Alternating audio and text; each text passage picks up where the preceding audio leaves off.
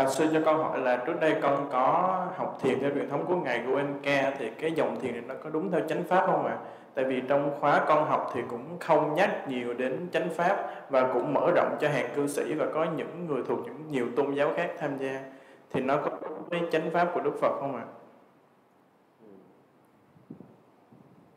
nói cho đúng ra thì ờ, sư không có tham gia, sư không có tham dự cho nên là sư không có đánh giá một cách à, chuẩn xác được. Bởi vì ờ, một cái phương pháp muốn biết có chuẩn xác, chuẩn xác hay không thì phải đối chiếu với kinh và luật. Ờ, có những cái gì mà nó tương ứng với kinh tương ứng với luật và đi kèm với chú giải thì điều đó là đúng.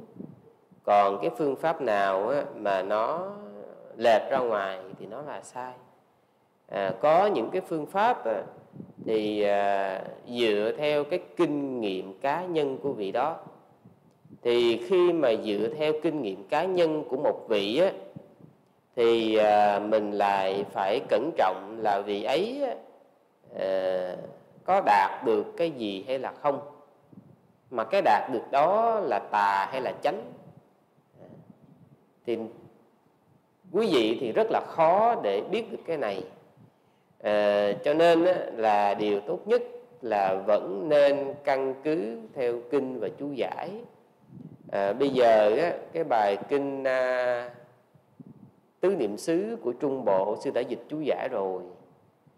Rồi à, cái thanh tịnh đạo là đã có bản dịch rồi. Mà sư thì khuyến khích nên xem cái bản của à, pháp triều á.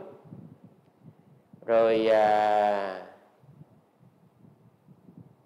cái tiếp nữa là cái vô ngại giải đạo. Nhưng mà quý vị nên xem cái bản dịch là à, phân tích đạo của à, ngài Nguyệt Thiên Indak Chanda đó. Tức là ba cái ba cái đó là ba cái cơ sở để chúng ta xác định là cái phương pháp đó đúng hay là không.